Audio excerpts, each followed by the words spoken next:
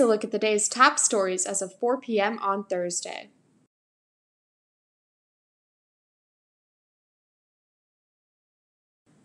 One hundred and thirty-four new total COVID 19 cases were announced by the South Dakota Department of Health on Thursday. Active cases are now at 1,722, down from Wednesday. No new deaths were reported. The death toll remains at 1,962.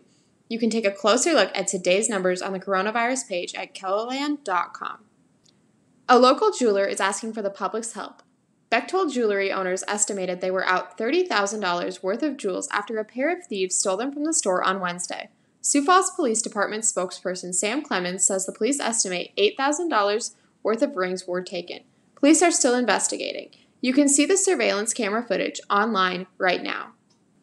Music returns to the Levitt at the Falls this summer.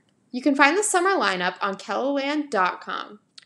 The specific case names weren't mentioned, but the argument Wednesday in the South Dakota Supreme Court over the validity of the constitutional amendment legalizing marijuana use by people 21 and older focused on a handful of previous court decisions. Capital News Bureau reporter Bob Mercer has the story online right now. Scroll down in the story to see the latest updates from the KELOLAND Live Doppler HD Storm Center. That's all for First at 4 on this Thursday afternoon. I'm Ariana Schumacher. For the latest updates, download the KELOLAND News app.